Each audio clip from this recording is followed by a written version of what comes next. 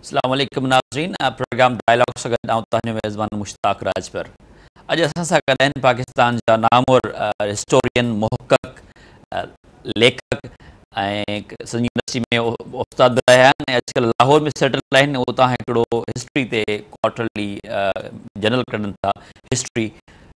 Doctor مبارک علی صاحب السلام علیکم اچھا شکریہ کیسے آپ سر ٹھیک ہیں بالکل جناب بہت شکریہ کہ آپ نے ہمیں ٹائم دیا نہیں جناب آپ جب ٹائم تیار ہے کے لیے لاہور چلے گئے آپ حیدرآباد کو چھوڑ کر ہاں آپ لوگوں نے رہنے نہیں دیا اس لیے جانا پڑا اب وہ لوگ وہاں نہیں رہنے دیں گے کوئی اور چلے جائیں گے لاہور کے کیا حال ہیں؟ نہیں لاہور ٹھیک ہے ٹھیک شہر ہے۔ ظاہر ہے ایک ہی شہر ہے پاکستان میں جس میں ذرا کچھ ڈیولپمنٹ نظر آتی ہے۔ اچھا۔ ورنہ دوسرے شہر جتنے بھی ہیں وہ تو آہستہ آہستہ خراب ہوتے جا رہے ہیں نا۔ اچھا۔ اور خاص طور سے حیدرآباد شہر چونکہ میری تو ساری زندگی وہاں گزری تو ہم نے اس کا وہ زمانہ بھی دیکھا ہے جب حیدرآباد شہر اپنی با اپنے باغات کی وجہ سے اپنی لائبریریز کی وجہ سے اپنی صفائی کی وجہ سے اور گرمیوں میں ٹھنڈی ہواؤں کی وجہ سے مشہور تھا۔ اور اب حیدرآباد جاتے ہیں تو وہاں جو رکشاؤں کا شور اور سڑکیں ٹوٹی ہوئی اور گٹر کا پانی اور کوڑا کر نظر آتا ہے تو واقعی افسوس ہوتا ہے کہ کیا یہ وہی حیدرآباد ہے کہ جو جہاں ہم نے جوانی گزاری تھی یا یہ کوئی اور حیدرآباد اچھا، ہے؟ اچھا۔, اچھا۔ یہ جو فرنٹیئر سندھ اور بلوچستان کے لوگ پنجاب والوں کو پتہ نہیں کیا کیا کہتے ہیں، تو لاہور کیا سوچتا ہے اس پہ؟ کچھ سوچتا بھی ہے یا؟ اچھا تھوڑا سا اس میں میرا اپنا کہنا جو ہے وہ یہ ہے، چونکہ اب مجھے لاہور میں بھی رہتے ہوئے کوئی پندرہ سولہ سال ہوئے، تو اس میں بات یہ ہے کہ چونکہ ایز اے ہول پنجابیوں کو برا کہا جاتا ہے نا، جب بھی بات ہوتی ہے سندھ میں بھی، بلوچستان میں بھی، بلکہ سرائے کی، کا علاقہ جو ہے وہاں بھی، تو میرا اس میں کہنا جو ہے وہ یہ ہے کہ پنجاب کی جو رولنگ کلاس ہے جیسے وہاں کا آرمی ہے وہاں کی بیوروکریسی ہے وہاں کا صنعت کار ہے یہ وہ لوگ ہیں جو پاکستان میں خرابی پیدا کر رہے ہیں۔ اچھا۔ پاکستان میں استحصال پیدا کر رہے ہیں۔ لیکن جہاں تک عام آدمی کا تعلق ہے عام آدمی آپ دیکھیں وہاں کا بھی بالکل ایسے ہی مظلوم ہے جیسا دوسرے صوبوں کا ہے۔ بالکل اس کی زندگی بھی اتنی ہی تلخ ہے جتنی دوسرے لوگوں کی ہے۔ تو اس لیے میرا اپنا یہ خیال ہے کہ ہمیں طبقاتی نقطہ نظر سے صورتحال کو دیکھنا چاہیے۔ ایز اے ہول پنجاب کو برا نہیں کہنا چاہیے۔ اچھا تو اس پہ کوئی ریئیکٹ نہیں کرتے مطلب جو نجی بات چیت ہوتی ہوگی لوگوں سے کیا بولتے ہیں کہ جی خامکہ کا الزام دیتے ہیں لاہور والوں پہ پنجاب والوں پہ؟ نہیں ریئیکٹ کرتے ہیں۔ دو چیزیں ہیں کچھ تو ریئیکٹ کرتے ہیں اور کچھ لوگ ایسے ہیں جو خود بھی اپنے آپ کو قصور بار ٹھہراتے ہیں کہ پنجاب کا قصور ہے کہ اس نے چھوٹے صوبوں کو حقوق نہیں دیے ہیں۔ اچھا۔ پنجاب کا قصور ہے کہ اس نے مثلا مشرقی پاکستان جب تھا تو اس وہاں بھی کوئی اچھا کام نہیں کیا تھا۔ پنجاب کا قصور ہے کہ وہ سندھ یا بلوچستان کے اندر یہ سب کچھ کر رہا ہے۔ تو وہاں جو صحیح سوچ کے لوگ ہیں ترقی پسند سوچ کے لوگ ہیں وہ خود پنجاب کو کو مرید الزام ٹھہراتے ہیں ایسی بات نہیں ہے۔ بہت ہیں بلکہ کافی لوگ ایسے ہیں مہا دانشور بھی جو انٹلیکچوئل بھی جو پنجاب کے اس کردار سے خوش نہیں ہیں۔ اچھا۔ جو پنجاب یہ کردار ادا کر رہا ہے۔ مسئلہ میرا خیال سے یہ ہے اور خاص طور سے سندھ کا ایک مسئلہ ہے کہ یہاں سے بہت کم لوگ جو ہیں پنجاب جاتے ہیں۔ اچھا۔ میرے خیال سے وہ جو ایک آپس کا باہمی تعلق ہے وہ باہمی تعلق نہیں ہونے کی وجہ سے وہ ان کا موقف آپ کو نہیں ملتا ہے آپ کا موقف ان کو معلوم نہیں ہوتا ہے۔ بہت کم میں نے دیکھا میرے اپنے جب سے میں ہوں بہت کم یہاں سے لوگ جاتے ہیں۔ اچھا جو سیاستدان جاتے ہیں نا ان کا اپنا نقطہ نظر بالکل مختلف ہوتا ہے۔ لیکن اگر یہاں سے انٹلیکچوئل جائیں دانشور جائیں اور جا کے اپنا کیس رکھیں اور مجھے یاد ہے مثلا یہاں سے ایک مطلب عبد الخالد جونی جو ہیں اچھا. وہ گئے تھے ان کا ہم نے وہاں لوگوں سے تعارف کرایا انہوں نے بڑے اچھے طریقے سے سن کا کیس پیش کیا اور لوگوں نے ان سے سوالات بھی کیے چیز کو سمجھا اچھا. تو یہ اگر چیز ہو تو میرا خیال سے ہمیں دیکھنا چاہیے کہ برائی کے ذمہ دار کون ہیں؟ اگر ہم سب کو برائی کا ذمہ دار قرار دے دیں گے تو پھر پنجاب کا نیشنلزم جو ہے اس کے ردی عمل میں وہ ابھرے گا۔ جو میں سمجھتا ہوں کہ کوئی اچھی چیز نہیں ہو اچھا۔ اخبارات کے کیا حال ہیں لاہور سے؟ کافی اخبارات ہاں، چھپتے ہیں بڑے بڑے پاپولر ہاں۔ اخبارات۔ اس میں اب یہ ہے کہ جو انگریزی کے اخبار ہیں نا اس میں وہی مسئلہ ہے کہ ان کی پالیسی بالکل مختلف ہے۔ جو اردو کے اخبارات ہیں وہ بالکل علیحدہ ہیں۔ اچھا۔ اردو کے اخبارات جو ہیں وہ انتہائی قدامت پسند انتہائی ان میں انتہا پسندی وہ نظر آئے گی۔ اچھا۔ تو اردو کے اخبارات تو میرا خیال سے نہ تو یہاں کوئی ترقی پسند رول ادا کر رہے ہیں نہ ہی پنجاب میں ادا کر رہے ہیں۔ اچھا۔ لیکن تھوڑی بہت امید جو ہمیں ہے وہ انگریزی کے اخباروں سے ہے لیکن اب یہ ہے کہ انگریزی پڑھنے والے بہت کم ہیں۔ حقانی صاحب تو وہیں بیٹھتے ہیں۔ ہاں لیکن حقانی صاحب بھی کوئی ترقی پسند تو نہیں ہے وہ بھی۔ وہ بھی ریاست کے آدمی ہیں وہ بھی سوچ سمجھ کے بات کرتے ہیں۔ کوئی کھل کے بات نہیں کرتے ہیں وہ۔ ڈیلی ٹائمز بہت ہی ایک لبرل لک دیتا ہے۔ پروگریسو تو آپ پتہ نہیں اس کے کہیں گے کہ ہاں، لبرل لک دیتا ہے pro market economy and democracy اور اس قسم کا۔ ہاں مطلب کہ ایگزیکٹلی اس کو آپ لبرل کہیے۔ وہ کوئی ترقی پسند اس طرح نہ کہیں لیکن اس کے ہاں کم از کم اتنی جگہ ہوتی ہے کہ لکھنے والے جو ہیں اپنے نقطۂ نظر کو بیان کر سکتے ہیں جو وہ چھاپتا ہے۔ ایڈیٹوریل بہت اچھے لکھتے ہیں وہ کوشش کرتے ہیں کہ اچھے آرٹیکل جو ہیں وہ بھی آئیں۔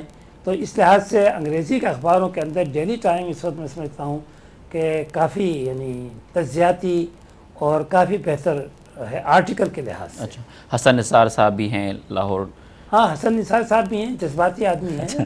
ہمارے دوست ہیں اور کبھی کراچی سے جو بہت بڑا ایک اخبار نکلتا ہے اس میں لکھتے رہتے ہیں اور ہاں کافی ہاں اس میں لکھتے ہیں اور ظاہر ہے کہ لیکن آپ کو پتہ ہے کہ اس اخبار کی پالیسی جو ہے وہ کیا ہے؟ وہ حالات کو دیکھ کے چلتے ہیں نا وہ۔ جو یہ جو پروگریسو وائس ہے جو یہ لوگ پنجاب کے لاہور کے اندر ہیں کہ جی پنجاب یا جو بھی پاکستان کے عوام کے ساتھ کر رہا ہے وہ صحیح نہیں کر رہا۔ وہ پولیٹیکل فارم میں نہیں آتا۔ اچھا اب یہ آپ کا کہنا کہ اس کا اثر کیوں نہیں ہوتا؟ بات اس میں یہ ہے کہ جن لوگوں کے پاس اختیارات ہیں جن لوگوں کے پاس طاقت ہے وہ لوگ جو ہیں ان کے مفادات کے نہیں ہیں۔ اچھا۔ اچھا اور دوسرا یہ ہے کہ عام آدمی جو ہے وہ تو آپ کو پتہ ہے کہ اس جو آج کل کے حالات ہیں ان میں اتنا زیادہ ڈی پولیٹیسائز ہو گیا ہے کہ عام آدمی کی اس وقت کوئی آواز نہیں ہے۔ پولیٹیکل پارٹیز جو ہیں خود جتنی بڑی بڑی جتنی پولیٹیکل پارٹیز ہیں وہ ان ایشوز کے اوپر بالکل بات نہیں کر رہی ہیں۔ نہ ہی پیپلز پارٹی بات کرتی ہے نہ کوئی مسلم لیگ بات کرتی ہے نہ کوئی اور اگر لیفٹ کی پارٹیاں ہیں وہ بات کرتی ہیں تو ظاہر ہے کہ ان کی بھی فالوئنگ جو ہے، ان کے بھی ماننے والے بہت کم ہیں۔ تو ایک جو پبلک کے اندر موبیلائز ہونا چاہیے نا، ایک موبیلائزیشن جو ہونی چاہیے، وہ ویسے واقعی اب تک نہیں ہوئی۔ رائٹ آپ کا جو اصل موضوع ہے، وہ تو ہسٹری مطلب نہ صرف مطلب تاریخ کیسی لکھی جائے، تاریخ کیا ہے، ان تمام موضوعات پہ آپ نے کام کیا۔ سندھ کے حوالے سے ایک آپ کی بڑی شاندار کتاب، سندھ خاموشی کی آواز۔ ایک جنرل سا اگر میں آپ سے کوشچن پوچھوں کہ سندھ کی تاریخ کو جو سندھ کے نیشنلسٹ اور سندھ کے جو لوگ سمجھتے ہیں کہ جی بڑا ظلم ہوا ہمارے ساتھ ترخان آئے، ارگون آئے، انگریز آئے، سارے جو آئے انہوں نے لوٹا مارا۔ تو ایک بڑی فیلنگ ہے ان کے پاس ہسٹری سے کہ جی بڑے مظلوم ہیں، صدیوں سے ہر یو بینگ اے ہسٹورین آپ کس طرح دیکھتے ہیں یہ؟ اچھا اب ایک یہ جو ویسے تو خیر دیکھیں، یہ جو بات صحیح ہے کہ غیر ملکی حملہ آور آتے رہتے ہیں اور جب بھی غیر ملکی حملہ آور آتے ہیں، کسی ملک پہ قبضہ کرتے ہیں، اس کے ذرائع پہ قبضہ کرتے ہیں، تو ظاہر ہے کہ عام جنرل پبلک جو ہے وہ تو اس سے متاثر ہوتی ہے۔ بالکل یہ بات صحیح ہے۔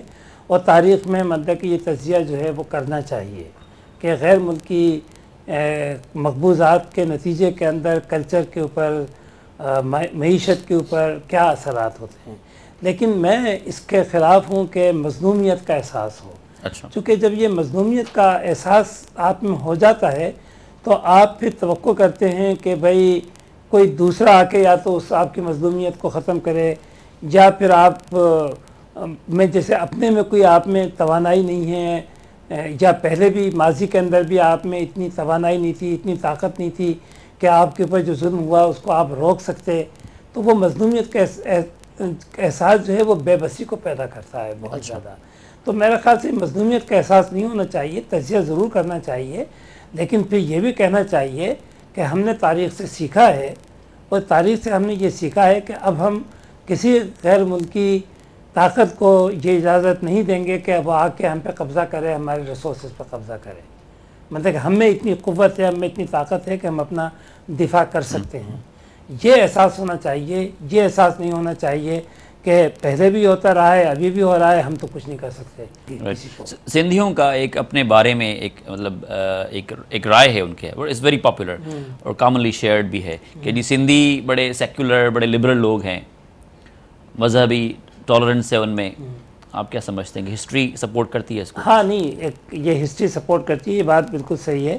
اور یہ بھی اصل بات اصل میں یہ ہے کہ سندھ کا علاقہ جو ہے یہاں پر یعنی ہندو مذہب بھی یعنی جس زمانے میں یہاں پر رہا اس وقت اس وقت بھی یہاں ذات پات کا نظام اتنا سخت نہیں تھا جتنا کہ شمالی ہندوستان کے اندر آپ کو ملے گا۔ یعنی وہ سندھ کے اندر آپ نے دیکھا ہوگا کہ ہندوؤں کے اندر یہاں ذات پات کی اتنی سختیاں جو تھیں وہ نہیں تھیں۔ تو وہ بھی اس سے اندازہ ہوتا ہے کہ یہاں پر برہمنزم کا بھی اتنا تسلط نہیں تھا جتنا کہ شمالی ہندوستان کے اندر ہے۔ تو یہ کچھ سندھ کی ٹریڈیشن ہے اور جب یہاں پر مسلمان ہوئے یہ، تو مسلمان ہونے کے بعد بھی وہ ٹریڈیشنس یہاں پر چلی ہیں یہ۔ اچھا اب یہ ہے کہ اس کی بہت حد تک بہت لوگ یعنی یہ وجہ بھی بتاتے ہیں کہ یہاں پر صوفی ٹریڈیشنس ہیں، جس میں رواداری ہے اور جس کے اندر ایک دوسرے کے ساتھ جڑ کے رہنے کا ایک سبق جو ہے وہ ملتا ہے۔ تو یہ بات بھی اپنی جگہ صحیح ہے۔ اب ہوا یہ ہے کہ اور یہاں پر یہ کہ اب یہ جو پارٹیشن کے بعد یہاں پر مہاجرین آئے ہیں مہاجرین آئے ہیں شمالی ہندوستان سے کہ جہاں ان کا بڑا زبردست کنفلکٹ تھا ہندوؤں کے ساتھ۔ اچھا۔ جتنے انتہا پسند وہاں پر ہندو تھے اتنے ہی انتہا پسند وہاں مسلمان بھی تھے۔ اور ان کا بہت حد تک تعلق جو تھا وہ اصلاحی تحریکوں سے تھا۔ اچھا۔ روایبلی سے آحیا کی تحریکیں کہ اسلام کو اس کی خالص شکل کے اندر جو ہے وہ لایا جائے۔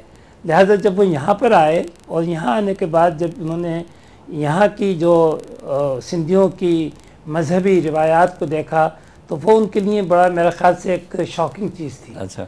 اور اب یہ تھا کہ ان کو کیسے دوبارہ سے مسلمان بنانا چاہیے۔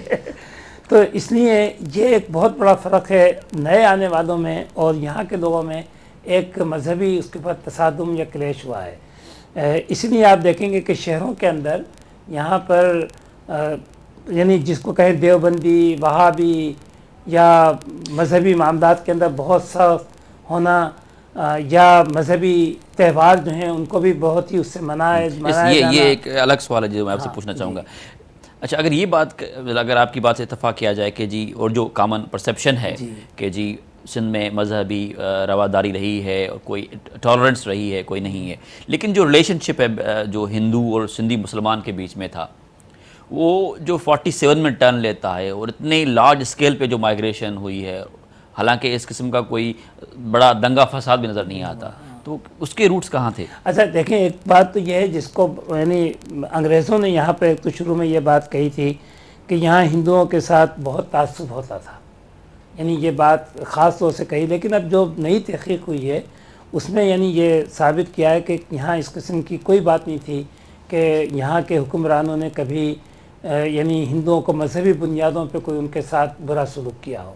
یہ چیز ایک تو سندھ میں نہیں تھی، چونکہ ہم دیکھتے ہیں کہ سندھ کا ہندو جو ہے، تجارت میں، کاروبار میں اور حکومت کے معاملوں کے اندر، مثلا عامل جتنے بھی تھے یا بھائی بن یہ جتنے لوگ تھے، یہ کافی یعنی خوشحال بھی تھے اور حکومت کے اہم عہدوں کے اوپر بھی فائز تھے۔ تو ایک تو وہ چیز تاریخی طور پہ اب یہ ہے کہ صحیح نہیں نہیں ہے ان کے ساتھ صحیح سلوک ہوتا تھا۔ ایک ٹالرنٹ سوسائٹی تھی، جس میں یعنی ہندوؤں کو بھی جو ان کا اسٹیٹس تھا وہ ملا ہوا تھا۔ اچھا اب یہ ہے کہ پارٹیشن کے بعد یہ سب کچھ کیوں ہوا؟ اس کے اندر اگر آپ دیکھیں گے تو نظر آپ کو یہ آئے گا مثلا پارٹیشن سے ذرا پہلے بھی مثلا یہاں مسلم لیگ جو تھی کوئی پاپولر جماعت نہیں تھی سندھ کے اندر۔ مسلم لیگ کو پاپولر جماعت بنانے کے لیے ضروری تھا کہ ہندو مسلم فسادات ہونے چاہیے۔ اچھا۔ چنانچہ مسجد منزل کا جو پورا واقعہ ہے یہ یہ سارا واقعہ جو کچھ ہوا ہے یہ جان بوجھ کر کے کیا گیا ہے۔ اچھا۔ تاکہ ہندو مسلم فسادات ہوں۔ اس فسادات کے نتیجے کے اندر مسلم لیگ کو مقبولیت ملے اور وہ ایک پولیٹیکل پارٹی کی حیثیت سے ابھر کے آئی۔ اور تو یہ پورا یعنی وہ مینوپولیٹڈ یا بنا یعنی بنایا گیا تھا۔ بس ورنہ کوئی اہم واقعہ نہیں تھا وہ۔ اچھا۔ لیکن اس کو ہندو مسلمان کی جھگڑے کی شکل جو ہے وہ دی گئی۔ اچھا پارٹیشن کے بعد یعنی یہ ہوا کہ یہاں ابتدا میں آپ دیکھیں کہ یہاں پر کوئی جھگڑے کوئی نہیں تھے اور بلکہ خود جناح صاحب جو تھے، وہ اس کے حق میں بالکل نہیں تھے کہ ٹرانسفر آف پاپولیشن ہو کوئی۔ کیونکہ وہ یقین، وہ سمجھ، چاہتے تھے کہ جو جس طرح کی صورتحال ایسی رہنی چاہیے۔ یہاں کوئی مطلب کہ ہندو نہ جائیں اور نہ ان کا یہ خیال تھا کہ ہندوستان سے لوگ یہاں پر آئیں گے۔ جو لوگ اپنی جگہ رہیں گے، ملک بن جائیں گے، لیکن لوگ اپنی اپنی جگہ رہیں گے۔ صحیح۔ اچھا لیکن اب ہوا یہ کہ آہستہ آہستہ جو صورتحال یہاں پر بگڑی ہے پھر فسادات جو ہیں وہ مطلب کہ جان بوجھ کر کے کرائے گئے اچھا۔ تو جان بوجھ کر کے جو فسادات کرائے گئے اس کی وجہ جو تھی کہ ایک تو جو مہاجرین آ رہے تھے ظاہر ہے ان کو بھی اکوموڈیٹ کرنا تھی ان کو بھی جگہ دینا تھی تو اس کے لیے بھی ضروری تھا۔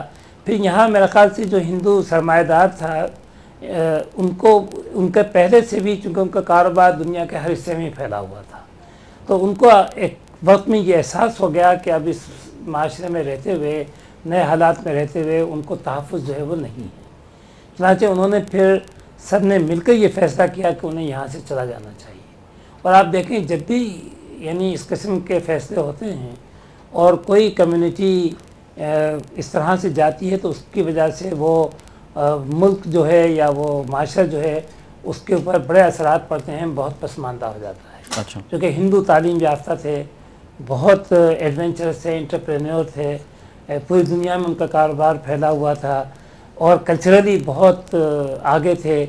ان کی وجہ سے میں سمجھتا ہوں آپ دیکھیں کہ حیدرآباد کا شہر جو ہے وہاں پر کتنے کلبس تھے کتنے اسکول تھے کتنی لائبریریز تھیں۔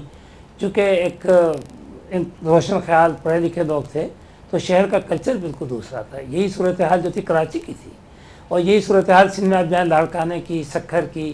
یعنی اس وقت کراچی سے کے علاوہ حیدرآباد، سکھر لاڑکانہ شکارپور مطلب یہ شہر تھے جن کی اپنی اپنی الگ الگ ایجنٹی تھی۔ اور ان شہروں سے اخبار بھی نکلتے تھے، رسالے بھی نکلتے تھے۔ یہاں دانشور بھی تھے۔ تو ہر شہر اپنی جگہ ایک کلچرل یونٹ تھا۔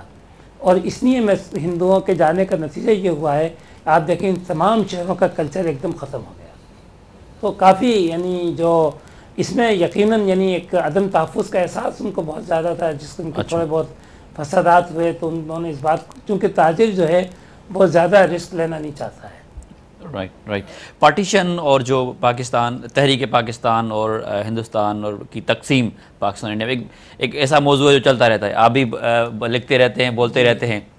لیکن ایک بات سمجھ میں نہیں آتی کہ جس پاکستان تحریک میں سندھ اور بنگال ایون جو جو یہ ایسا ہمارا ویسٹرن تھا، وہ شامل ہوا، وہ تھا ایک فیڈرل اور ڈیموکریٹک پاکستان جس میں صوبے اٹھانوس ہوں گے۔ لیکن جو پریکٹس ہوئی وہ بالکل اس کے مترادف۔ تو کیا شروع سے یہ پلان تھا کہ پاکستان کو ایک یونیٹری اسٹیٹ بنانا ہے؟ یا حالات ایسے ہو گئے کہ اچھا نہیں پہلے میرے خیال سے پلان بالکل نہیں تھا۔ ایک تو مسلمان پہلے سے پلان کبھی نہیں بناتے۔ یہ حالات تھے کہ جن حالات کی وجہ سے پھر یہ صورت ہو گئی۔ ورنہ ظاہر ہے آپ صحیح کہہ رہے ہیں کہ لاہور ریزولوشن میں بالکل میں نے صاحب بات کہی گئی تھی اور یہ بالکل تھا کہ ایک فیڈرل مطلب گورنمنٹ ہوگی صوبوں کو مطلب کہ پورے پورے اختیارات جو ہیں وہ ملیں گے لیکن ایسا کیوں نہیں ہو سکا؟ اس کی بھی میرے خیال سے بہت وجوہات ہیں۔ ایک تو خود مطلب کہ جو میں سمجھتا ہوں اس میں جناح صاحب کا بھی قصور ہے۔ اچھا۔ اور قصور اس طرح سے ہے کہ جب وہ گورنر جنرل بنے تو انہوں نے یہ کہا کہ میں کوئی ربر اسٹیمپ گورنر جنرل نہیں بننا چاہتا۔ یعنی نائنٹین تھرٹی فائیو کا ایکٹ جو ہے اس میں ترمیم کی گئی اور ترمیم کرنے کے بعد ان کو اختیارات جو ہیں وہ زیادہ دیے گئے گورنر جنرل کے۔ آپ دیکھیں کہ گورنر جنرل تھے لیاقت علی خان وزیر اعظم تھے لیکن کیبنٹ کی میٹنگ کی کی صدارت جو ہیں وہ گورنر جنرل کرتے تھے جناح صاحب کرتے تھے۔ اچھا۔ وزیر اعظم نہیں کرتا تھا۔ تو ایک تو یہ کہ وہ اب حالانکہ جناح صاحب بڑے کانسٹیٹیوشنلسٹ تھے اور ان کے بارے میں تمام باتیں ہیں لیکن میں سمجھتا ہوں کہ یہ ابتدا جو تھی ایک تو انہوں نے غلط کی۔ یعنی اچھا۔ کہ گورنر جنرل ظاہر ہے کہ گورنر جنرل کے ایک نامنل ہیڈ تھا جو اس کی پوزیشن تھی لیکن انہوں نے اس سے زیادہ اپنے اختیارات دیے جس کو انہوں نے استعمال بھی کیا۔ جیسے یعنی سرحد کی اسمبلی کو انہوں نے جزال کرایا یا یہاں سندھ میں کھوڑوں کی وزارت تھی اس کو بھی انہوں نے ختم کرایا ختم کیا۔ تو انہوں نے اپنے اختیارات کو استعمال بھی کیا۔ اچھا پھر جو ایک چیز یہاں پر آئی، جو جناح صاحب کے بعد جو لوگ آئے، ان کے ذہن کے اندر یہ تھا کہ ایک ریاست ہے تو اب ایک ہی قوم ہونا چاہیے، ایک ہی زبان ہونا چاہیے، ایک ہی مذہب ہے۔ تو یعنی جو جو جس کو کہتے ہیں وحدت کا ایک جو پورا وہ ہے کہ بس اس طرح سے ہونا چاہیے۔ اس چیز کا انہوں نے خیال نہیں کیا کہ پاکستان کے اندر جو یہ علاقائی کلچر ہے یا علاقائی روایات ہیں یا ادارے ہیں ان کی تاریخی حیثیت بہت پرانی ہے۔ پاکستان تو ابھی بنا تھا لیکن سندھ ہے پنجاب ہے بلوچستان فرنٹیئر ان کی اپنی شخصیت ان کا اپنا کردار یا ان کی اپنی حیثیت یہ تو بڑی پرانی تاریخی تھی۔ تو اگر آپ ان کے کلچر کو ختم کر کے یہ چاہیں کہ یہ سب آج سے اپنے آپ کو کوئی نہ سندھی کہے نہ پنجابی نہ بلوچی نہ سرحد اور صرف کہے کہ میں پاکستانی ہوں۔ تو یہ ممکن نہیں تھا۔ اچھا لیکن اسٹیٹ جس کو ہم اس کو کہتے ہیں ریاستی نیشنلزم کہ ریاستی نیشنلزم پوری قوت کے ساتھ نا لوگوں کے اوپر تھوپا گیا۔ یہ کون کر رہا تھا؟ یہ مطلب کہ اس وقت کے جتنے بھی پالیٹیشین جو بھی تھے لیاقت علی خان کہیے اس وقت باہر آگے چل کے چودھری محمد علی بھی آئے اور فیروز خانون بھی آئے مطلب جو بھی اس وقت کی مسلم لیگ جس کو کہیں اس وقت چونکہ مسلم لیگ رولنگ پارٹی تھی تو یہ مسلم لیگ نے کی پالیسی تھا جو انہوں نے اڈاپٹ کی جو اس وقت کی رولنگ کلاس تھی۔ ان کا یہ اور اسی لیے سب سے پہلے آپ دیکھیں اس کے خلاف رد عمل جو ہے وہ مشرقی پاکستان میں جی۔ ہوا۔ انہوں نے اور مشرقی پاکستان کا جو نیشنلزم ہے وہ نیشنلزم جو ہے وہ مذہبی نہیں ہے وہ زبان کی بنیاد کے اوپر ہے۔ کہ اس بنیاد کے اوپر انہوں نے ریجیکٹ کیا۔ یعنی سینٹر کی قوت کو اختیارات کو اور انہوں نے یعنی لسانی نیشنلزم کی بنیاد کے اوپر اپنی الگ شناخت قائم کی۔ اور آپ دیکھیں گے کہ آگے چل کے سندھ کا جو نیشنلزم ہے، اس کی بنیاد بھی زبان کے اوپر ہے۔ اور اس لیے اس نے بھی مذہبی نیشنلزم کو یا ریاستی نیشنلزم جو ہے، اس کو چیلنج کیا ہے یہ۔ ڈاکٹر صاحب، بات چیت کو جاری رکھیں گے، لیکن وقت چھوٹے سے بریک کو۔ ناظرین ایسا کر رہے جو اصانی گال بول پی تھے پاکستان کے نام اور ہسٹورین ڈاکٹر مبارک علی صاحب ملوں تھا ایک بریک ہاں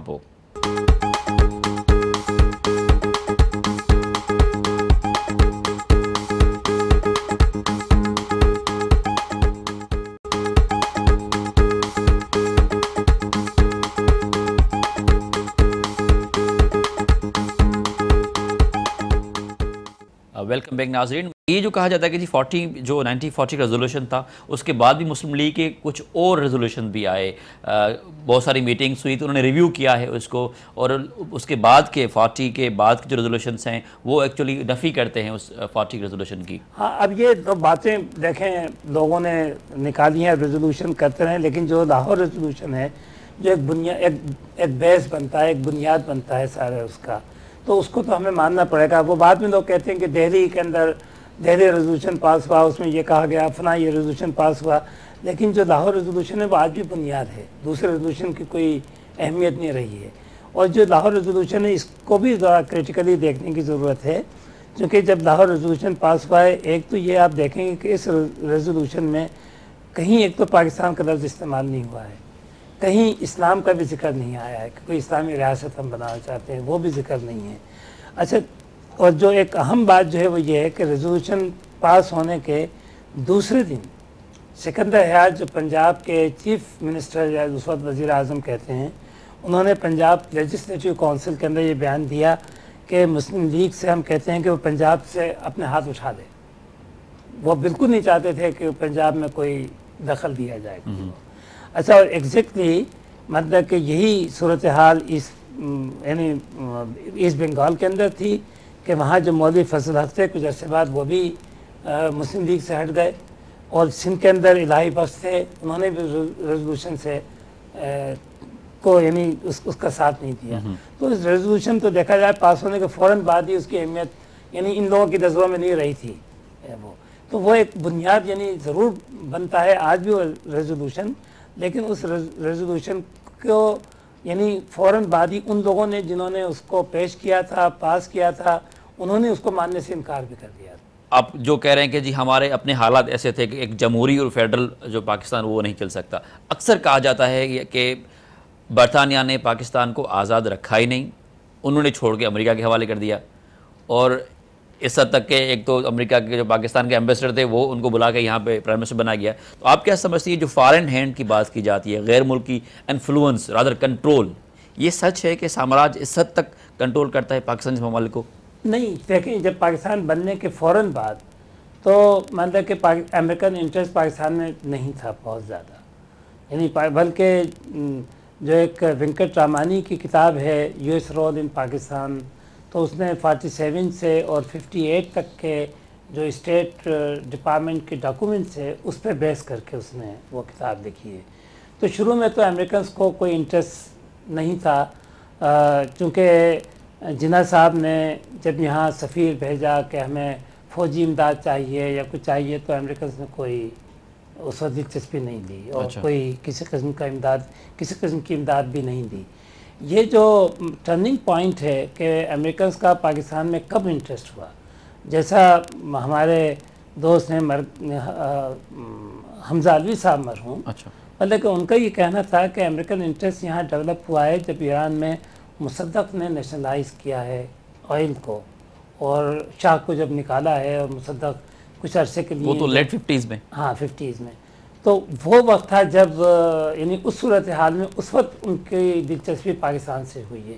ورنہ شروع کے اندر پاکستان سے کوئی ان کی دلچسپی نہیں تھی۔ اچھا۔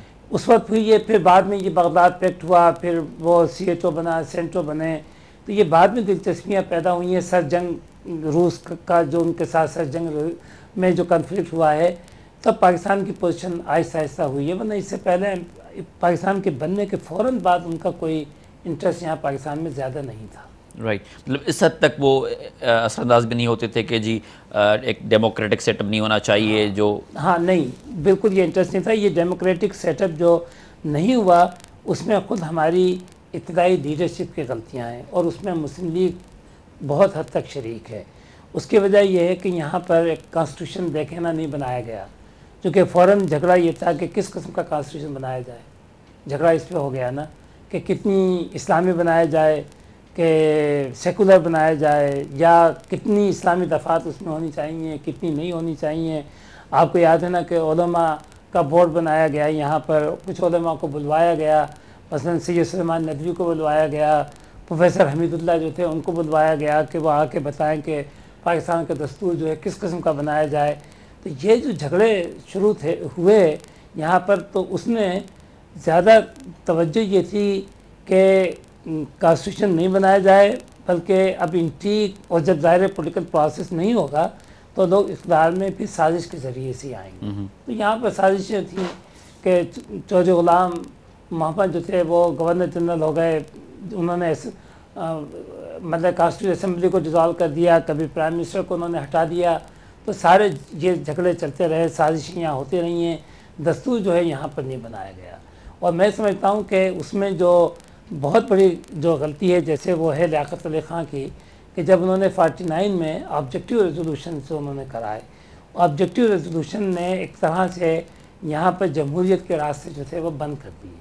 چونکہ آبجیکٹیو ریزولوشن میں یہ کہا گیا کہ بھائی اقتدار اعلیٰ جو ہے وہ خدا کے پاس ہے۔ اب جمہوریت میں تو لوگوں کے پاس ہوتا ہے۔ اب جب یہ ہو گیا تو ظاہر ہے کہ پھر اب جب کوئی ایسا اور ملک دنیا میں ہے جو جس کا کنسٹیٹیوشن یہ کہتا ہو؟ نہیں کوئی نہیں۔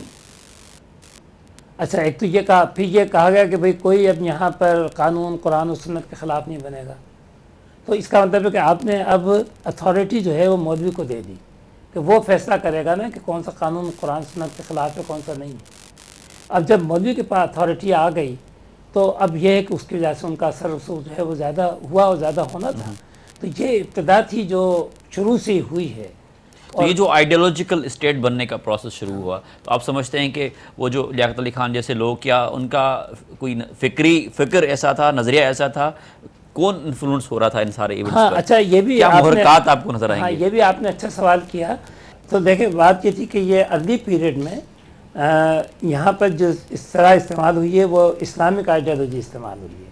اور اس کے جو آئیڈیالوگ تھے وہ اشتیاق حسن قریشی صاحب تھے کہ جو مطلب اس کو ایک آئیڈیالوجیکل اسٹیٹ ہے، ہونی ہے، اسلامک آئیڈیالوجی ہماری مطلب کہ آئیڈیالوجی ہے، یہ ساری باتیں انہوں نے کیں اور انہوں نے جو کتابیں بھی لکھیں اور جو پمفلیٹ لکھے، ان میں بار بار وہ اس بات کو مطلب کہ دہراتے رہے ہیں یہ۔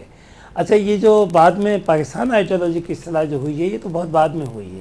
یہ تو جا کے کوئی جنہا نے بھی کہا کہ جس دن محمد بن قاسم نے سندھ پہ پاؤں رکھا تھا پاکستان تو اسی دن بن گیا تھا۔ اچھا اب یہ ہے کہ جناح صاحب ہیں یا اور بھی پالیٹیشنس ہوں ان کی آپ اسٹڈی کریں تو ایک واقعی آپ کو یہ چیز بہت تضادات ملتے ہیں یہ۔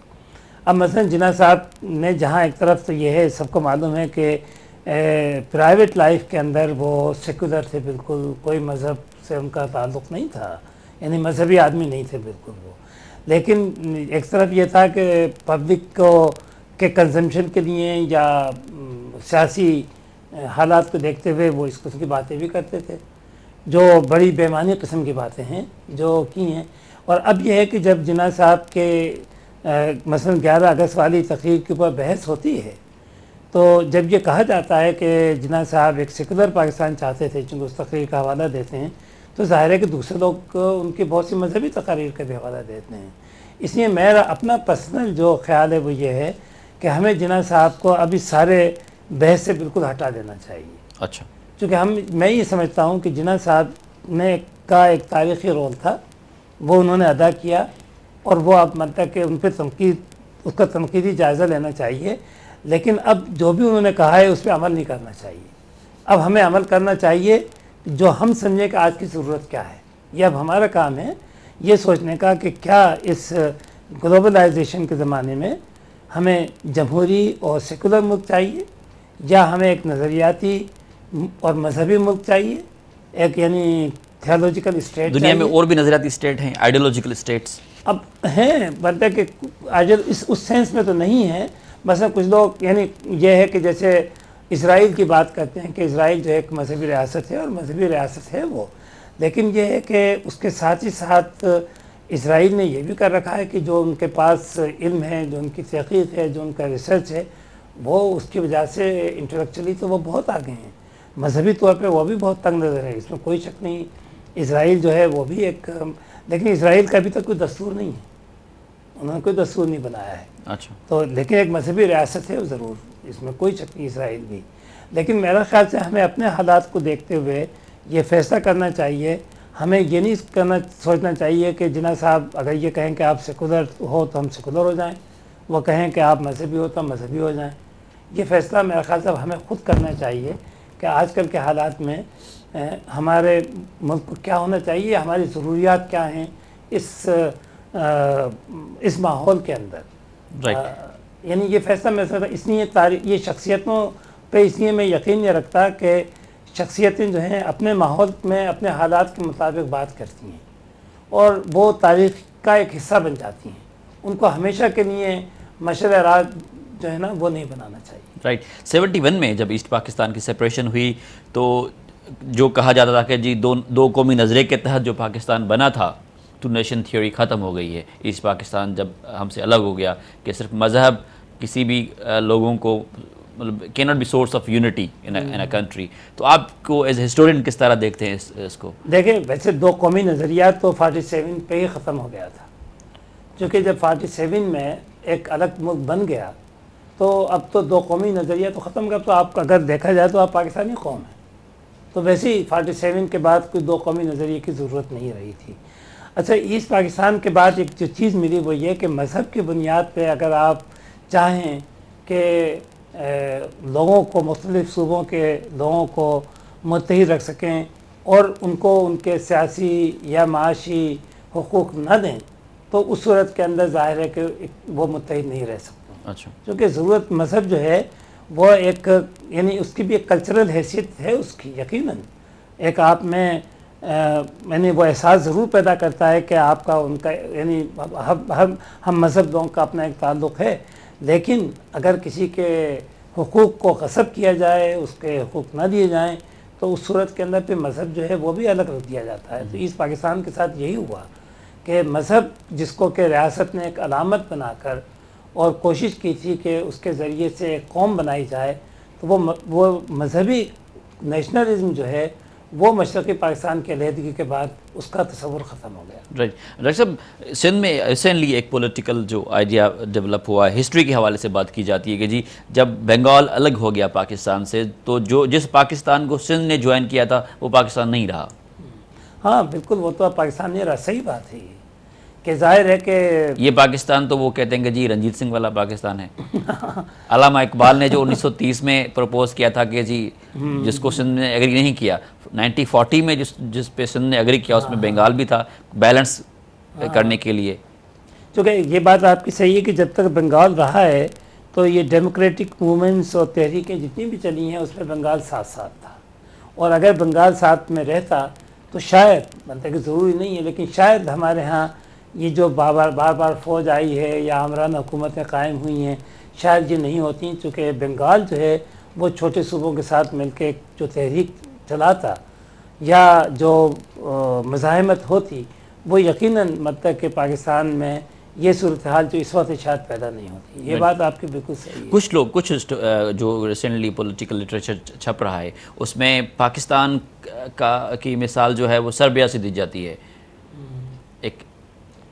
ایتھنک جو امبیلنس ہے مطلب ظاہر ہے ایک ایک مطلب جس طرح پنجاب ایک بہت بڑا صوبہ ہے۔ وہاں پہ بھی سرفز جو تھے وہ ایک میجورٹی میں تھے اور جو چھوٹے چھوٹے تھی۔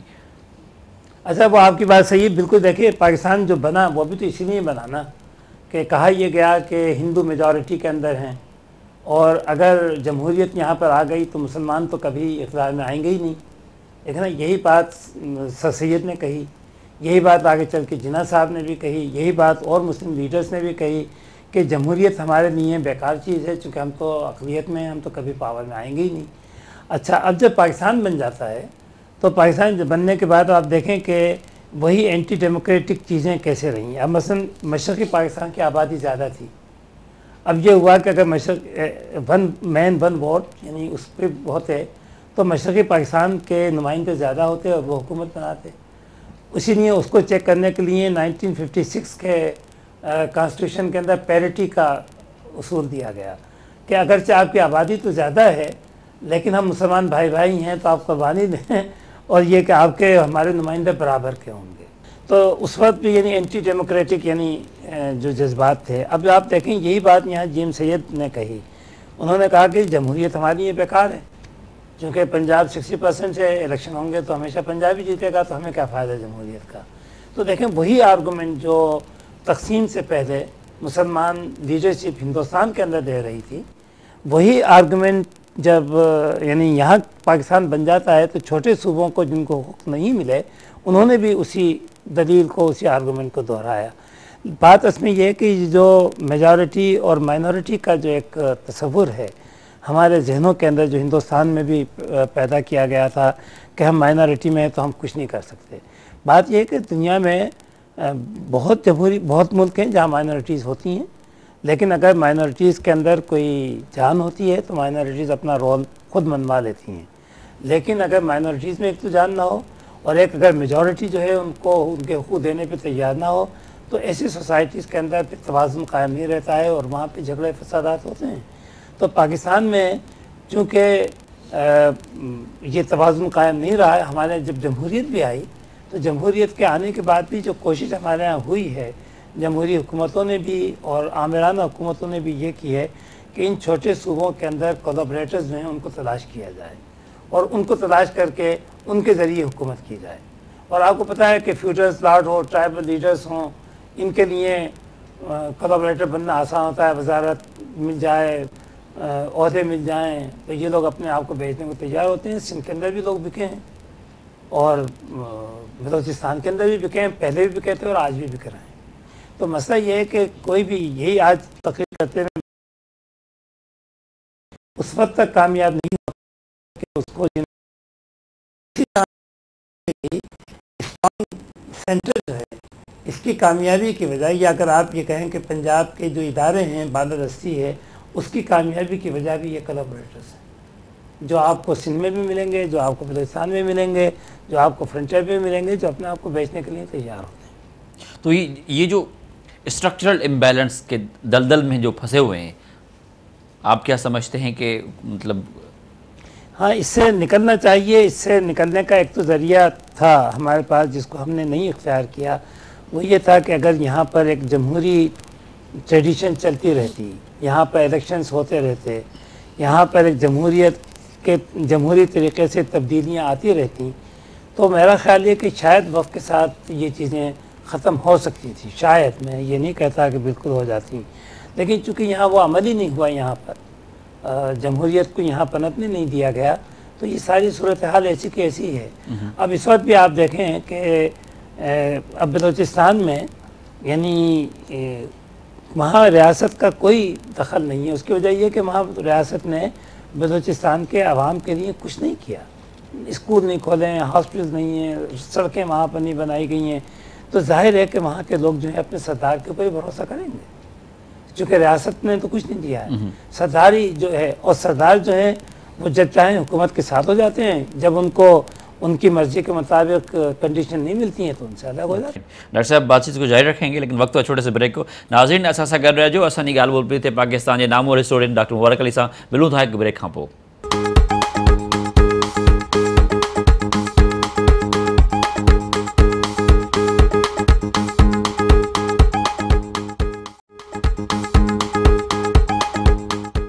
بیک ناظرین آن تاں بھائی بدھائیں دو رہا ہوں اسیں گالائیں پر داخل مبارک کر لیسا پان لاہور ماں کراچی آئل ہویا سوچو سندھے کا تفسیری گال بولتا سا انہوں نے گالیوں شیئر کر جن ڈاکٹر صاحب ایک ایشو جو فنڈامنٹلزم کا ہے بنیاد پرستی کورس مذہبی بنیاد پرستی کہا جاتا ہے آپ اس کے روٹس کہاں دیکھتے ہیں ایک پرسپشن یہ ہے کہ پاکستان کے اندر ریاست نے اسپیشلی زیولک نے بڑا پیٹرنائز کیا ہے تو پہلے تو یہ میں آپ سے جانا چاہوں گا کہ جو یا اس میں پھر سیکٹرینزم آ گیا ہے کس طرح دیکھتے ہیں آپ اس ایشو کو؟ اچھا دیکھیں، ویسے تو فنڈامنٹلزم کی جس کو آپ کہیں کہ اثرات تو خیر اس سوسائٹی کے اندر پہلے سے ہی تھے۔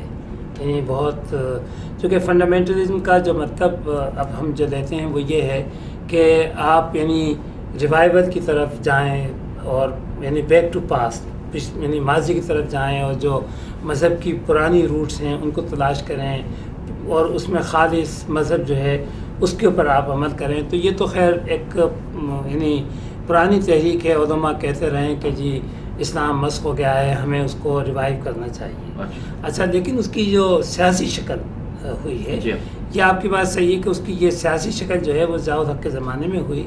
اور خاص طور سے جو افغانستان کا مسئلہ ہوا ہے جو روسی وہاں پر آئے ہیں اور پھر امریکن مدد سے روس کے اندر دخل دینا شروع کیا ہے تو ایک آپ کو بتاؤں کہ انٹرسٹنگ بات کہ اسی زمانے میں امریکہ کی یونیورسٹی تھی نبراسکا یونیورسٹی۔ اس نے ٹیکسٹ بکس تیار کرائی تھیں افغانستان کے طالب علموں کے لیے اور فرنٹیئر کے طالب علموں کے لیے۔ اور ان ٹیکسٹ بکس کے اندر انہوں نے باقاعدہ جہاد کی تبلیغ کی ہے۔ اچھا۔ کہ جہاد جو ہے وہ کتنا مطلب کہ اہم فریض آئے ہر مسلمان کے لیے اور یہ جہاد جو ہے وہ کرنا چاہیے۔ تو یہ ٹیکسٹ بکس پورے افغانستان میں اس میں تقسیم کی گئی، چونکہ روسیوں کے خلاف لڑنا تھا۔ اور مجاہدین کا لفظ بھی بہت ہی پاپولر لفظ تھا اور بڑی عزت کے ساتھ اس زمانے میں بولا جاتا تھا۔ بلکہ ریگن نے خود کہا کہ میں بھی ایک مجاہد ہوں۔ جب گلبتن حکمت آیا اس سے ملنے گیا ہے۔ اچھا اب ایک انٹرسٹنگ بات آپ کو یہ بتائیں کہ اب وہی نبراس کا یونیورسٹی جو ہے، اب اس نے جو آج کل کے حالات میں نئی ٹیکسٹ بکس تیار کی ہیں، اس میں جہاد کی مخالفت کی گئی ہے۔ اچھا۔ اور یہ کہا گیا ہے کہ جہاد جو ہے وہ مطلب کہ یہ مزاحمت کرنا، یہ کرنا، یہ اسلام کے بالکل خلاف ہے۔ اسلام تو امن کا مذہب ہے، محبت کا مذہب ہے۔ اب وہی ٹیکسٹ بک تیار کرا کے اب پھر افغانستان میں اور فرنٹیئر میں وہ تقسیم کر رہی ہے۔ تو یہ ہے کہ اس کے یہ جو فنڈامنٹلزم کی ایک شکل تو یہ یہ ہوئی۔ دوسرے اس وقت امریکن انٹرسٹ بھی تھا، چونکہ اس وقت تک سر جنگ ہو رہی تھی۔ روس کے خلاف محاذ تھا۔ تو روس کے خلاف اس محاذ کے اندر مذہبی جماعتیں جو ہیں، ان کو تیار کیا گیا تھا۔ آپ کو پتہ ہے کہ مختلف طریقے ہوتے ہیں ان جماعتوں کو یعنی فائنینشلی سپورٹ کرنے کے بھی وہ بھی مطلب کی جاتی تھی۔ لٹریچر ان کا ترجمہ بھی ہوتا تھا تقسیم بھی ہوتا تھا۔ تو اس کے اندر خود امریکن اور ویسٹرن پاورز جو ہیں وہ یہ سمجھتی تھیں کہ اگر اس یہ فنڈامنٹلزم اور جماعتوں کو ہم تجار کریں گے تو ہم روس کے سیکولرزم سے اور روس کا جو کمیونزم ہے اس کو ہم روک سکیں۔ تو وہ ان کی پیٹرنائزیشن تھی۔ اور یہاں پہ جو اسلامائزیشن کا جو پورا عمل شروع ہوا ہے زیاد حق کے زمانے میں، اس میں مطلب کہ زیاد حق نے یہ کیا کہ مولویوں کو یعنی جیسے ان کی مدرسوں کی ڈگریاں کو ریکنائز کر دیا گیا گورنمنٹ کے اندر ان عہدے دیے گئے مشائق کانفرنسز ہو رہی ہیں، مختلف کانفرنسز کرائی گئیں۔ اور ساتھ ہی ساتھ یہ بھی ہوا ہے کہ اسی زمانے میں جب یہ روس کا سارا کرائسس چل رہا تھا تو میرے خیال سے بہت زیادہ اس کو بڑھانے میں وہ عرب ملکوں کا ہاتھ ہے۔ اچھا۔ یعنی سعودی عرب اور پرشین کلب سے بہت پیسہ آیا ہے ان مذہبی جماعتوں کے لیے مدرسوں کے لیے مسجدیں بنوائی گئیں۔ مجھے یاد ہے ایک مرتبہ بدین جاتے ہوئے میں نے راستے میں ایک بہت ہی خوبصورت مسجد دیکھی۔ تو پتہ چلا کہ وہ بھی کسی عرب کے شیخ نے بنائی ہے۔ اچھا۔ تو یہ جو مسجدوں کا کلچر آپ دیکھیں کس قدر مسجدیں بنی ہیں؟ اگر آپ لگائیں زیادہ کے پیریڈ میں، شہروں کے اندر بھی اور دیہاتوں میں، تو اس سے آپ کو اندازہ ہوگا کہ یہ جو مسجدیں ہیں، پھر ان میں کسی نہ کسی ایک فرقے کا قبضہ ہوتا ہے اور وہ جس مسجد پہ ہوتا ہے، وہ اپنے فرقے کی تبدیل کرتے ہیں۔ اسی سے پھر تصادم اور کنفلکٹ جو ہے وہ پیدا ہوتا ہے۔ تو یہ بیک گراؤنڈ تھا، ایک تو روس کا بیک گراؤنڈ سر جنگ کا، سعودی عرب کا اس کا پیسہ امریکن سپورٹ اور اس کے اندر مطلب کہ ضاؤ حق کا مطلب کہ ہونا۔ اس نے مطلب کہ پاکستان کو ایک ایکسٹریمسٹ بنایا اور وہ مولوی کہ جن کے پاس اس سے پہلے طاقت نہیں تھی، ان کے پاس بہت پیسہ آ گیا۔ مسجدیں ایئر کنڈیشن ہو گئیں، مدرسوں کے اندر یعنی اب مولویوں کا حال یہ ہوتا ہے جب باہر نکلتے ہیں تو وہ بھی کلاشن کوف لیے ہوئے کہ کہ یعنی مسلح گارڈ جو ہیں ان کے ہمراہ ہوتے ہیں۔ یعنی میں سمجھتا ہوں پہلی مرتبہ یعنی مولوی کو فائنینشلی اتنی طاقت کبھی تاریخ میں نہیں ملی جتنی اس زمانے اچھا میں اچھا۔ تو یہ ایک تو یہ وجہ ہے۔ اچھا اب یہ ہے کہ فنڈامنٹلزم ایک زمانے میں ویسٹ کو بھی ان کو بھی سوٹ کرتا تھا۔ لیکن جب سے روس کا خاتمہ ہوا ہے اب ان کے لیے فنڈامنٹلزم ایک خطرہ بن گیا ہے۔ جو کہ اب افغانستان میں بھی نہیں رہا وہاں بھی نہیں رہا۔ اچھا یہاں پر یہ تاثر یہ دیا گیا مذہبی جماعتوں نے کہ کہ روس کو ہم نے مطلب کہ افغانستان سے نکال کے پوری روسی امپائر کا خاتمہ ہم نے کیا ہے۔ یعنی روس کا پورا زوال جو ہوا ہے وہ ہماری وجہ سے ہوا ہے۔ لہٰذا وہ کہتے ہیں کہ ہم نے ایک طاقت کو تو ختم کر دیا سپر پاور کو۔ اب ایک دوسری سپر پاور ہے، اس کو بھی ہم ختم کر دیں گے، اس کی بھی ہماری کیا حیثیت ہے یہ۔ تو اس نے کی وجہ سے اس کا نتیجہ جو ہے یہ ہے کہ دوسری سپر پاور کو کیسے ختم کیا جائے، وہ چیز آ جاتی ہے پھر تشدد کے اندر، جس کو ہم کہیں دہشت گردی اور وہ، چونکہ اور تو آپ کچھ کر نہیں سکتے ہیں۔ تو آپ پھر دہشت گردی کے ذریعے سے آپ ہی چاہ چاہتے ہیں کہ ان کو نقصان پہنچا کے اور ان کا یعنی جتنا کمزور کر سکیں وہ کریں۔ یہ اسٹریٹجی مطلب کہ انہوں نے اختیار کی ہے۔ جو ویسے کوئی کامیاب نہیں ہو سکتی اچھا۔ لیکن یہ بھی ایک طرح سے ہم اس کو بھی ماننا پڑے گا ہمیں کہ فنڈامنٹلزم کو بڑھانے میں مطلب کہ ویسٹ کا اپنا بھی کردار ہے۔ مثلا فلسطین کا جو مسئلہ ہے فلسطین کا مسئلہ اور اسرائیل کی جو اس طرح سے پوری حمایت کی جاتی ہے یورپ میں بھی امریکہ میں بھی تو وہ ایک ایسی چیز ہے کہ جو ذہنی طور پہ کسی کو بھی مطلب ہر ایک کو صدمہ پہنچاتی ہے سمجھتے ہیں کہ یہ مسئلے کا حل نہیں ہوگا۔ چچنیا میں بھی روس نے جو کچھ بھی کیا وہ بھی ایک جذبات کو یعنی لوگوں کے بھڑکاتا ہے اشتہار دلاتا ہے۔ تو یہ بھی ہے کہ یہ جو دو تین کرائسس ہیں خاص طور سے فلسطین کا یا چچنیا کا یہ مغرب بھی اور روس بھی ان کو حل نہیں کرے گا۔ اور یہ حل نہیں ہوں گے تو میں سمجھتا ہوں کہ یہ فنڈامنٹلزم کے لیے ایک سورس جو ہے یہ رہیں گے۔ رائٹ تو جو سیکٹیرینزم جو فرقے واریت ہے وہ مطلب شروع سے ہی اسلام کے اندر مطلب جس طرح سنی اسلام ہے پاکستان میں موسٹلی سنی ہیں شیعہ بھی ہیں تو وہ رہے ہیں یا ڈیولپ ہوئے ہیں؟ نہیں۔ یا ایک میں نے آپ ہی کسی کتاب میں پڑھا تھا کہ انگریز کے زمانے میں بھی کچھ فرقوں کو فروغ دیا گیا۔ اچھا اس ایک تو فرقے جو ہیں وہ پیدا ہوتے رہتے ہیں ختم بھی ہوتے رہتے ہیں۔ اچھا۔ مطلب ضرورت کے تحت یہ تو اچھا اب یہ ہے کہ کلونیل پیریڈ میں یعنی کافی ہوئے۔ اب مثلا کلونیل پیریڈ میں جو میں نے آپ سے بات کی مثلا بریلوی فرقہ جو ہے دیوبندی جو ہیں یہ تو ہیں پیورٹن جس کو ہم کہیں ریوائولسٹ اور بہت ہی سخت قسم کے یعنی انتہا پسند مذہبی معاملات کے اندر۔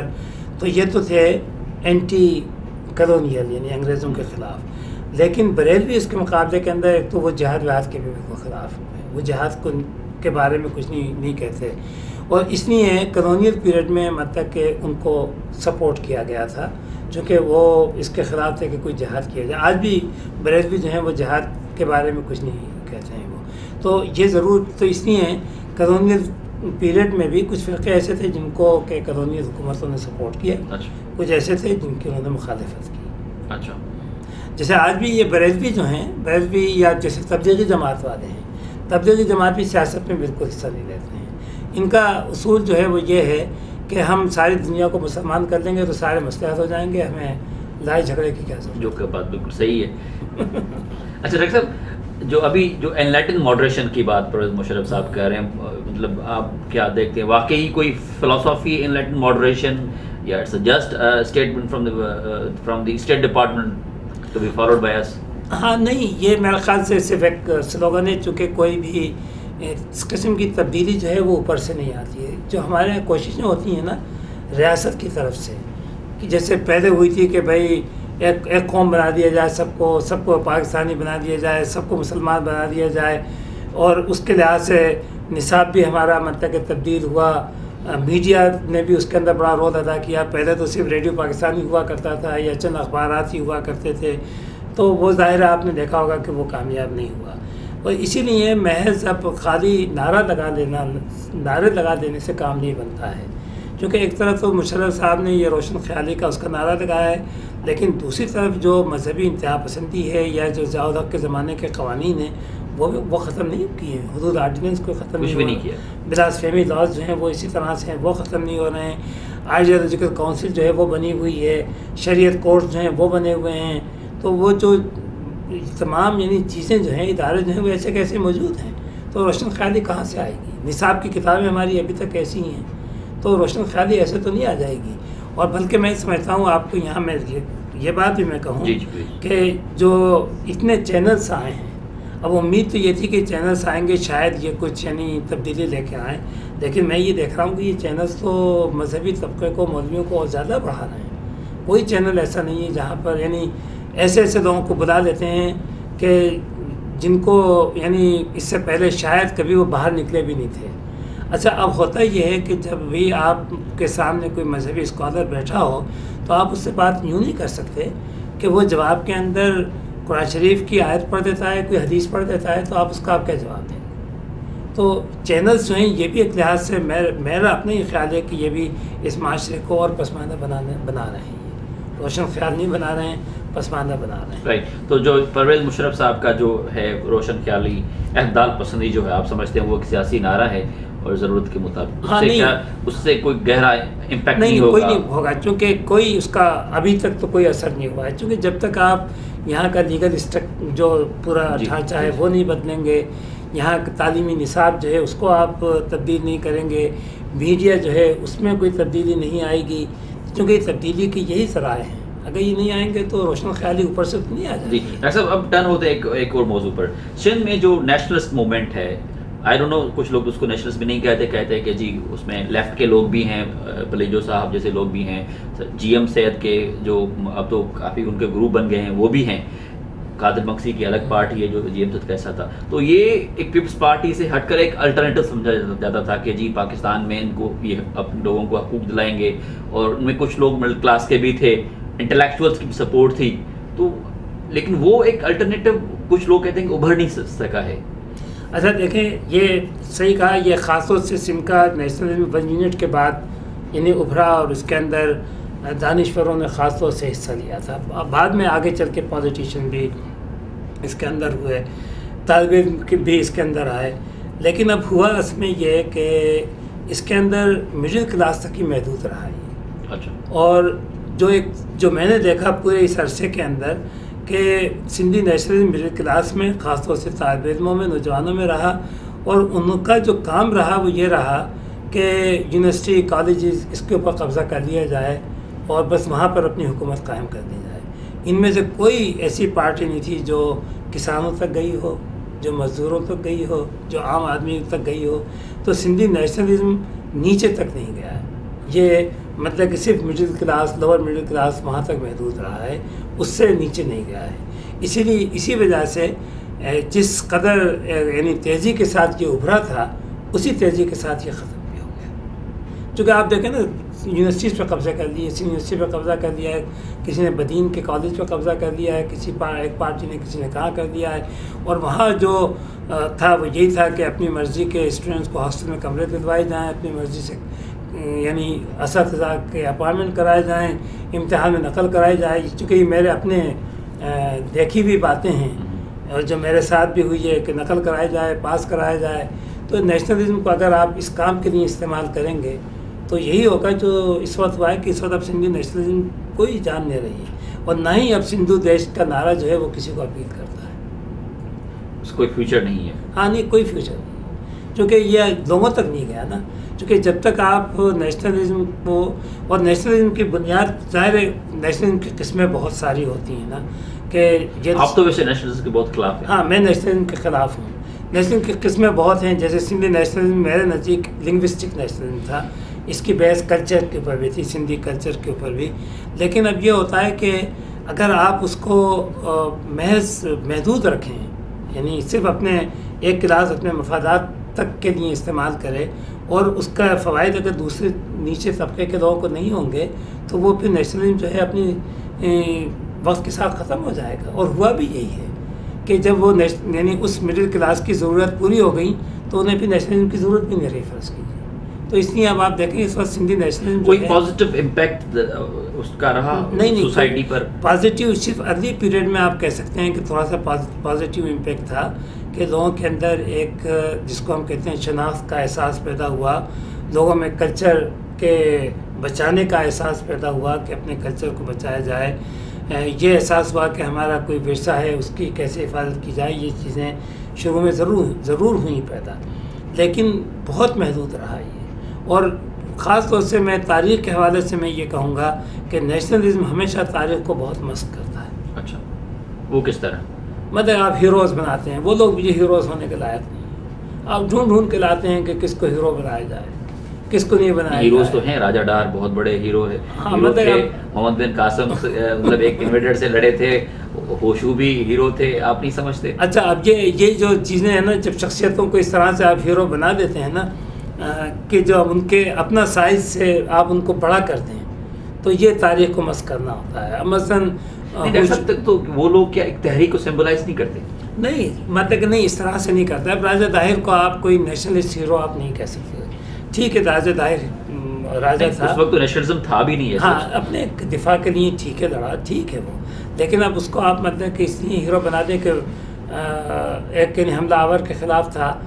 ہیرو کا جو جو درجہ دینا ہوتا ہے نا وہ کسی وہ مطلب کہ تھوڑا سا دیکھنے کی ضرورت ہوتی ہے نا کہ ایک ہیرو کا پورا کنسیپٹ کیا ہے؟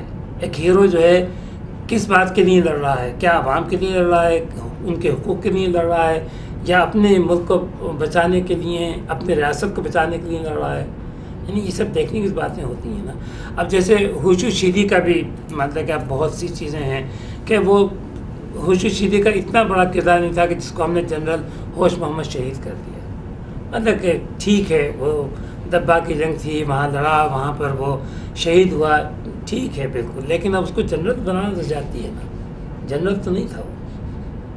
اور یہ بھی جیسے مجھے یاد ہے یہاں میں تھوڑا سا ذکر کرتا چلوں کہ جب میں سین یونیورسٹی میں تھا، تو وہاں پر ایک پٹے والا تھا۔ اس نے ایک بہت اچھا آرٹیکل لکھا تھا وشو شیدی کے اوپر۔ اور ریسرچ کی تھی اور وہ یعنی جس کو ہم کہتے ہیں کہ صحیح معنوں کے اندر اس نے وہ آرٹیکل لکھا اس کا آرٹیکل کسی اخبار میں کسی رسالے میں سب نے چھاپنے سے انکار کر دیا چونکہ اس نے اس ساری مت کو توڑا تھا۔ اچھا۔ اس نے کہا تھا کہ جو اس کو ہیرو بنایا جا رہا ہے یہ غلط ہے اس قسم کا یہ ہیرو نہیں تھا۔ رائٹ جو نیشنلز موومنٹ کی بات کر ایک آرگیومنٹ یہ دیا جاتا ہے کہ جس کی جو سوسائٹی ہے وہ ایک تو بہت پسماندہ ہے۔ ایجوکیشن نہیں ہے ڈیولپمنٹ نہیں ہوئی۔ ایون پچاس سال پاکستان کے اندر بھی کوئی ڈیولپمنٹ نہیں ہوئی ہے۔ فیوڈلس بیٹھے ہیں۔ تو جو سوشو اکنامک اسٹرکچر ہے وہ کچھ ایسا ہے کہ وہ ایک مڈل کلاس لیڈ موومنٹ کو سوٹ نہیں کرتا۔ اچھا یہ یہ بات صحیح ہے، اس کی اور اسی لیے نیشنلزم جو ہے وہ ان کو سوٹ کرتا ہے۔ یعنی پیروں کو بھی سوٹ کرے گا فیوچرس کو بھی سوٹ کرے گا، چونکہ اس کے اندر وہ محفوظ ہو جاتے ہیں۔ وہ ایک قوم کا حصہ بن جاتے ہیں، تو وہ ان کو سوٹ کرے مجھے یاد ہے کہ کچھ عرصے میں نے اپنے ایک شاگرد سے کہا کہ بھئی اگر سندھو دیش بن بھی گیا تو تمہیں کیا ملے گا؟ یہی مطلب کہ پیر اور وغیرہ جو ہیں تمہارے حکمران ہوں گے، تو وہ کہنے لگا کم از کم ہمارے تو ہوں گے۔ تو میں نے کہا بھائی، یہی بات پارٹیشن سے پہلے بھی کہا کرتے تھے کہ پاکستان بن جائے گا تو ہمارے لوگ ہوں گے۔ تو ان ہمارے لوگوں نے جو ہمارے ساتھ حشر کیا، یہی تمہارے لوگ بننے کے بعد شاید تمہارے ساتھ بھی وہی حشر کریں۔ تو ایک تو یہ ہے کہ نیشنلزم ان لوگوں کو، ان لوگوں کو بہت زیادہ سوٹ کرتا ہے۔ اچھا اب یہ ہے کہ ایکزیکٹلی آپ کی بات صحیح ہے کہ مڈل کلاس کا سائز جو ہے وہ بہت چھوٹا ہے۔ لیکن اب یہ ہے کہ سم میں ایک زمانے کے اندر آپ دیکھیں کہ ان پیروں کے خلاف ان کے خلاف کافی لکھا جا رہا تھا۔ ڈرامے بھی بہت آ رہے تھے رائٹنگ بھی بہت ہو رہی تھی۔ لٹریچر کے اندر بھی سندھی لٹریچر میں بھی بہت لکھا جا رہا تھا۔ لیکن جیسے عبدالقادر جنی جو نے جو اس کی شاید دیواریں جی۔ تھا لیکن اس سے سندھی نیشنلسٹ بڑے سخت ناراض ہوئے۔ ان کا آپ نے وڈیرا کا اتنا خراب برا کردار پیش کیا ہے اس کا اچھا کردار پیش کرو۔ اور اس نے پھر کسی اپنے اگلے ڈرامے کے اندر اس کو بڑا پڑھا لکھا اور بڑا کلچر طور کے اوپر پیش بھی کیا۔ تو یہ میرا خیال سے دیکھیں یہ ڈسٹراشن ہوتی ہے۔ اگر ایک چیز اور وہ چیز آہستہ آہستہ ختم ہو گئی سندھ کے اندر جو ایک موومنٹ چلی تھی، پیڑوں کے خلاف، ڈیروں کے خلاف مڈل کلاس کی لٹریچر میں خاص طور سے، اور وہ آگے چل کے سیاست میں بھی آتی، وہ چیز ختم ہو گئی اور دوبارہ سے ان کا غلبہ ہو گیا۔ چونکہ نیشنلزم کو انہوں نے بس و ڈھال استعمال کیا۔ تو یہ ہے کہ خود مڈل کلاس نے ہتھیار ڈالتی ہے۔ اگر وہ ان کے خلاف لڑتے تو یقیناً ان کا اثر تو ہونا جو ہے وہ بہت ضروری ہے۔ جب تک ان کا اثر نہیں چھوٹے گا مڈل کلاس بھی آگے نہیں بڑھے گی ان کا سماج بھی آگے نہیں بڑھے گا۔ حیدرآباد واقعی کوئی پروگرام ہے آپ کا؟ حیدرآباد میں بھی ایک پروگرام ہے۔ ایک تو واپس آ کر رہیں گے نہیں حیدرآباد میں آپ؟ نہیں میرے خیال سے اب مشکل ہی ہے۔ آدمی آگے چلا جائے تو آگے جانا چاہیے۔ اور حیدرآباد کو اب اتنا بگاڑ دیا ہے۔ اتنا مجھے بڑا دکھ ہوتا ہے جب بھی میں حیدرآباد جاتا ہوں کیونکہ اتنا خوبصورت شہر تھا اور جتنا اب بدنما ہو گیا ہے اور جتنا تو اب وہ دکھ ہوتا ہے اس شہر کو دیکھ کے۔ اور پھر اب یہ بھی ہے وقت وہ ہوتا ہے اور حیدرآباد کو ختم کرنے میں کراچی کا بھی بہت بڑا حصہ ہے۔ اچھا۔ کیونکہ جو حیدرآباد سے تنگ آتا ہے فوراً کراچی آ جاتا ہے۔ تو میرے کافی جاننے والے دوست جو ہیں وہ حیدرآباد کو چھوڑ کے کراچی آ گئے۔ چلیے آپ کا بھی شکریہ بہت تھینک یو